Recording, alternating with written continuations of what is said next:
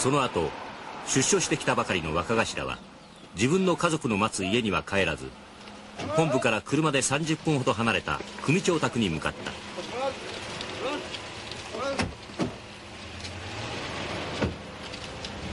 組長の奥さんに挨拶するためである。この世界では組長の奥さんは姉さんと呼ばれる。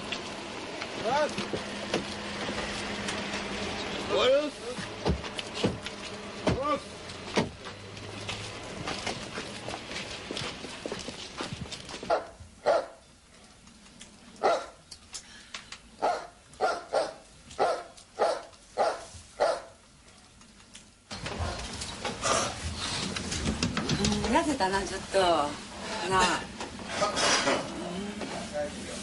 しんどかったやろ。うん。ご苦労さん。まあ元気そうで。おじゃあ。また頑張って。え？しゃなってな。向こう。で病気せんかった。腰が決めるわ。腰？うん、メダリちゃん腰立て。ほんまにやれやれやまあもうな武さんな帰ってきてくれてね。なあもう。服してやろう。何もないけどええ。だからあっちで。この日組長の奥さんは若頭のために手作りの料理を用意して待っていた。それはどうも長い間ご苦労した。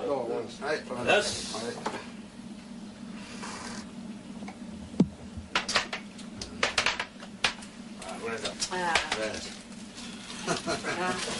あ元気よかった。あほんまやな体が良さい、元気だったよ。それか。前の時よりもマシやな前の時はもうなえらいやそうそうそううんうん、出てきた時な。ややっぱりちょいきなりやな慣れう前の時はな、ほんまに早かった。翌5月5日総本部のシャッターが開いたのは午前8時30分。ここには下部組織から「爪」と呼ばれる揃いの服を着た本部詰めの若い衆が5人泊まり込んでいる。15日ごとに交代する彼らはいわば総本部の世話係。玄関には清めの塩。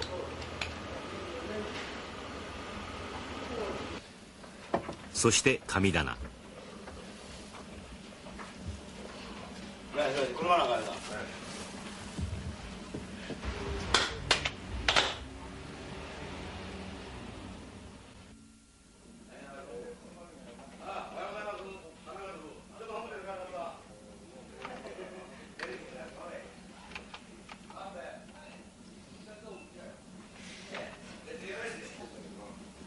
幹部しか立ち入ることのできない部屋で事務長がパソコンに向かってデータを打ち込んでいた。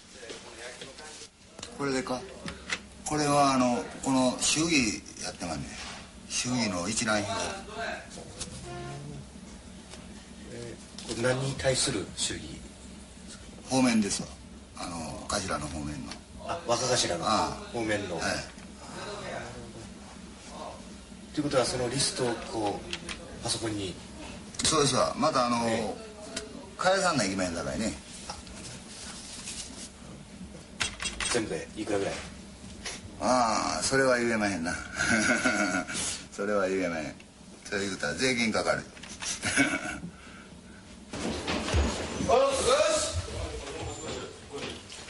午前10時。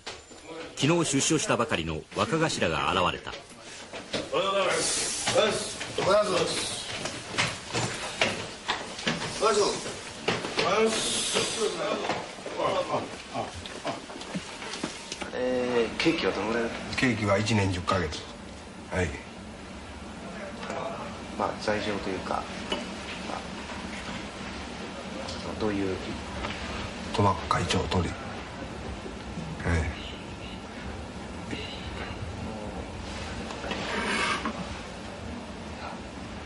保釈なんかあったんですか？えー保釈金は2000万円ですわ。殺されるよりな生きて懲役辛い懲役でも13年15年でもいたら生きて帰ってこれるんやからね。やられ前にやると。いう主義ですわ。やられたら遅いですよ今の時代は。ね？家の中入ってもたら悪いやから。例えばね？ね？今現代入り口ドアでどこの事務所でも鉄板はめてるんやからね。そうでしたろ？入ってこられへんねんから。モニターテレビついてね？誰が入ってきたらすぐ分かるんやから。ね？やられたらもう遅いですわ。ね？やられる前にやるっちゅう。モットーですわ。生まれ変われるとしたら、もう一度やりますか？生まれ変わるとはまあ坊ちゃんで生まれたいな。坊ちゃん。いやおたくらもこうやってインタビューに来てやね、こうやって偉い仕事を何時間も働いてこれ帰ったらやっぱり家内を養っていかなきゃあきませんやろ？違う、うん、こんな坊ちゃんで生まれたらこんな仕事さんでいいんや。そうでしたろ？何も考えんと、うん、やっぱり坊ちゃんやね。私は、うん。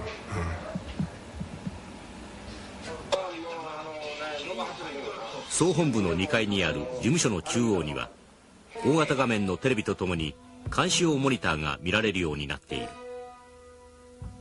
表通りを中心に数台のテレビカメラが設置されている。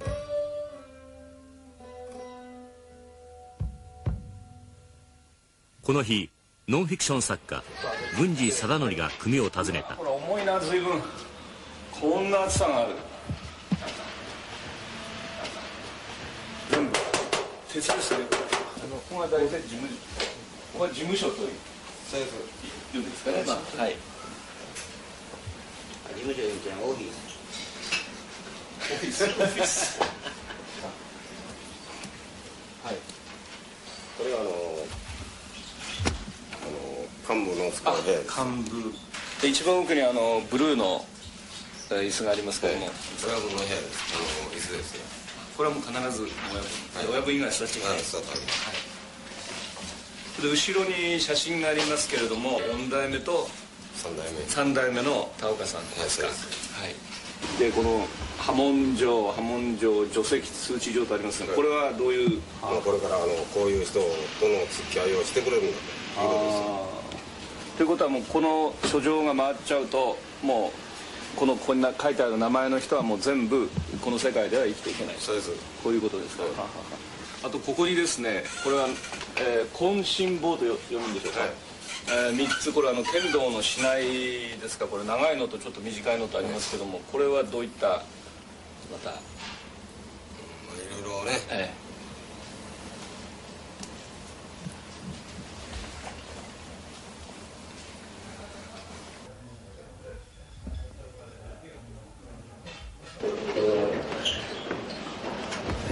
さんこれあの歩いててですねこういうあの、まあ、廊下っていうんですか大体人一人がやっと通れるぐらいですよね意識してやっぱりあの狭く作ってあるんですか？どうしてですか？あのいろいろとね、はいあの万が一行動期限で、はいこの時にええ。備えてあの部屋をこちらへと思って。そして3階それでここにドーンとこの大広間があるんですけどね。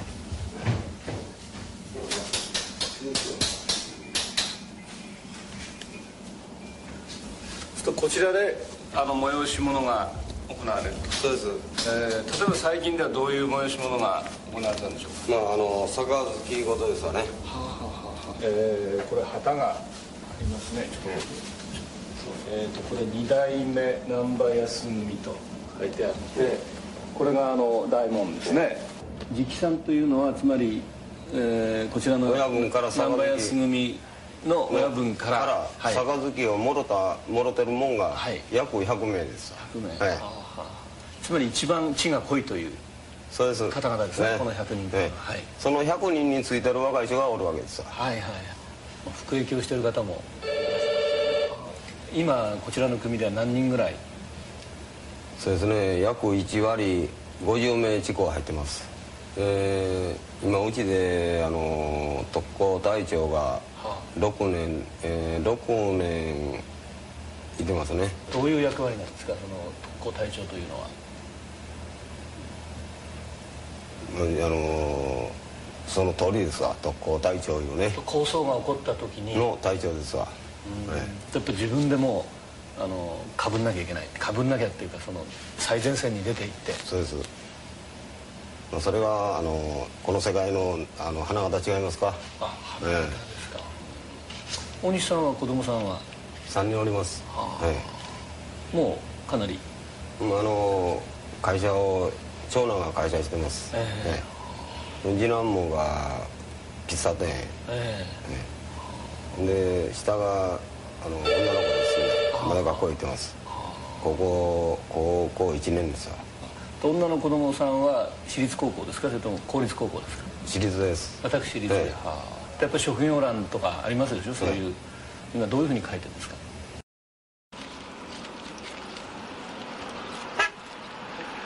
その後出所してきたばかりの若頭は自分の家族の待つ家には帰らず本部から車で30分ほど離れた組長宅に向かった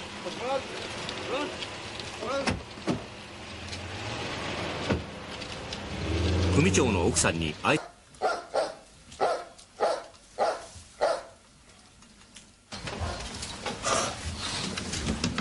痩せたなちょっと。なあ。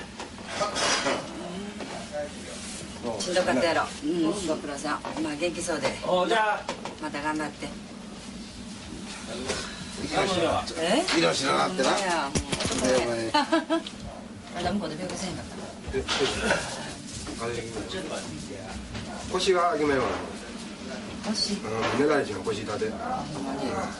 やれやれやまあもうな武さん。な帰ってきてくれてね。まあもう福祉やろ何もないけどえだからあっちであれはみんなあれしやヒロさんはこの日組長の奥さんは若頭のために手作りの料理を用意して待っていたさっさとしそれはどうも長い間ご苦労でした。はい。よし。視察するためである。この世界では組長の奥さんは姉さんと呼ばれる。おはよう